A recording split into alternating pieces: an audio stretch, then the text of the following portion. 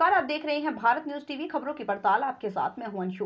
संशोधित प्रारूप में फिर से शुरू करने के लिए कर्नाटक में विद्यागमा कार्यक्रम, प्राथमिक और माध्यमिक शिक्षा मंत्री एस. सुरेश कुमार ने कहा, प्रत्येक स्कूल में उपलब्ध शिक्षकों और कक्षाओं की संख्या को देखते हुए छात्रों को 15 से 20 के छोटे समूहों में विभाजित किया जाएगा। दिखाते हैं पूरी खबर। कर्नाटक सरकार ने मंगलवार को शहर के सरकारी स्कूलों के अलावा अनुदानित और गैर सहायता प्राप्त निजी स्कूलों को शामिल करते हुए परिसर में आयोजित कक्षाओं के साथ संशोधित प्रारूप से विद्यागमा कार्यक्रम को फिर से शुरू करने का फैसला किया।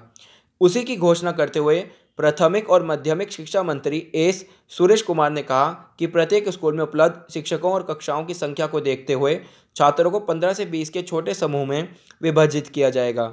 माता पिता की सहमति से छात्रों को आधे दिन के लिए स्कूलों में आने की अनुमति दी जाएगी। कोविड नाइन्टीन दिशा निर्देशों के मास्क पहनना, हाथों को बार बार साफ़ करना और थर्मल स्कैनिंग के अधीन होने सहित सभी स्कूलों में पालन किया जाएगा।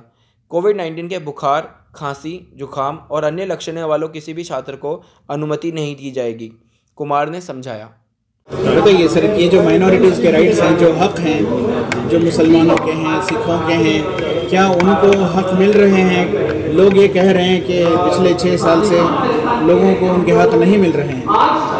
ये ये बहुत ही आम बात है देखने के लिए देश में आज कि काफ़ी हद तक जो है राइट्स प्रॉपर तौर पे दिए नहीं जा रहे हैं। अगर दिए जा रहे की बात नहीं है, एक तो दो चीज़ें हैं। अगर हमारी अवेयरनेस बढ़ेगी और एकता बढ़ेगी तो हाँ ज़रूर ले पाएँगे इस बात को। अगर हम फ्रैगमेंटेड तौर पे, जैसे थोड़े थोड़े जाके करेंगे इस बात को तो ये बहुत मुश्किल रहेगा कि हम अपने राइट्स लें।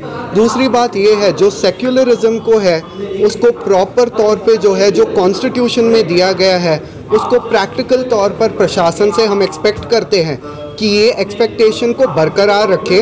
अगर सत्तर साल से बहुत लोग अमन शांति से रह रहे हैं तो आगे क्यों नहीं वो अपने हक हकूक़ के साथ रह सकते हैं? ये ज़रूरी है, बाकायदा वो एजुकेशन के बारे बारे में हो राइट्स के बारे में हो freedom of living as per your choice of what religion you need to stay in about jobs के बारे में हो तो ये ज़रूर बात है कि इसमें घटते सरगर्मता देखने को मिल रहा है देश में।